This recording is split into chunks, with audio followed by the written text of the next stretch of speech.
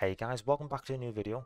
In this tutorial, I am going to be showing you how to convert your add-on hookup mods into the correct file format for local mods.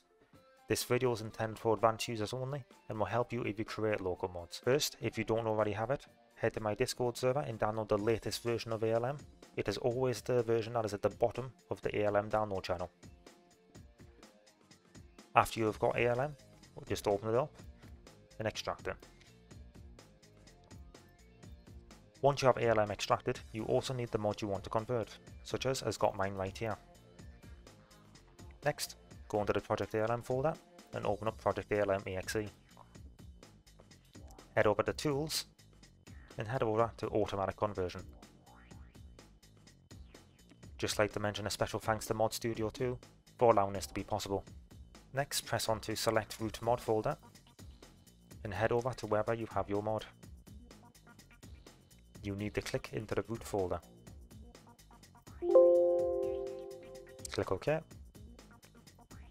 Now select the PMD file that you want to convert and type in the new file path for your local mod.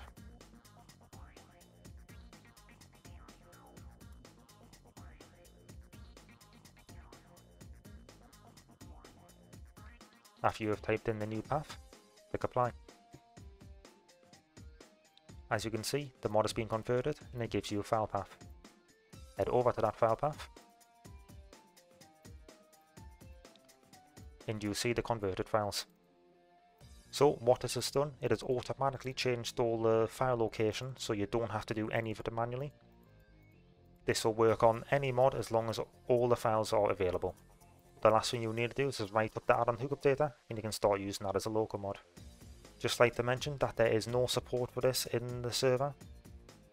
This is only intended for advanced users. If you don't know what this is, it's probably not intended for you.